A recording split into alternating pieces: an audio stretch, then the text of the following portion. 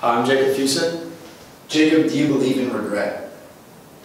Absolutely. I mean, I feel like there's many times in our lives that we regret something, you know? We regret uh, failing a test, we regret not giving our all in something, and I believe that I believe that we do regret things, and it's just important that we move past that regret and kind of tackle what needs to be in front of us.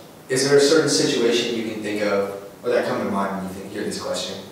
Um, when I was injured, I tore my ACL my freshman year, and uh, there was a lot of regret going through my mind of just, I didn't have a good mindset coming back, you know? I kind of left myself, I left myself kind of fall behind in a sense where I didn't, felt like I didn't work hard enough to come back and be my best. And I was just hard on myself, and I, that's honestly what I think about when I hear